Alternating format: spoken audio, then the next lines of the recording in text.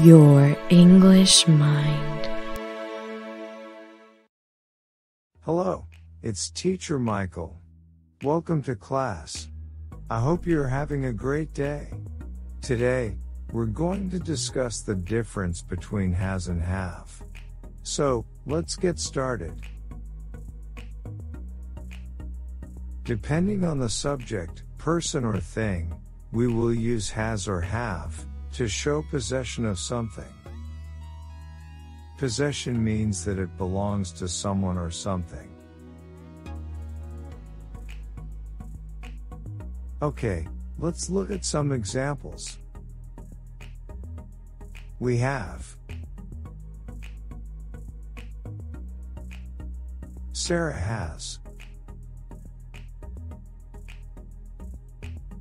Terry and Jane have. He has.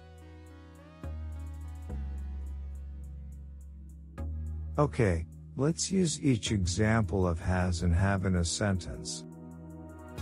We have a baby. Sarah has a book. Terry and Jane have two cats. He has a bicycle.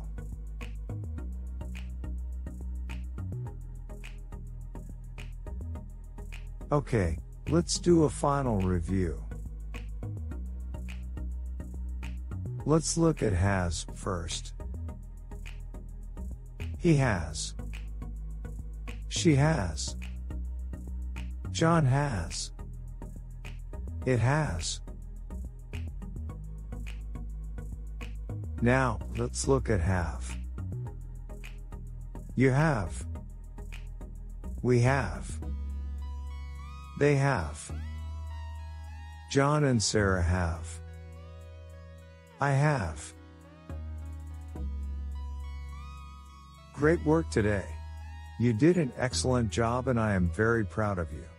Don't forget to subscribe on YouTube so you won't miss any daily English videos from your English mind. Also, add us on Instagram and Facebook so you can have access to the bonus material that will help with today's lesson. Remember to head on over to yourenglishmind.com to check out extra materials that will help you with your English studies. This is Teacher Michael saying goodbye, and I hope to see you in class real soon.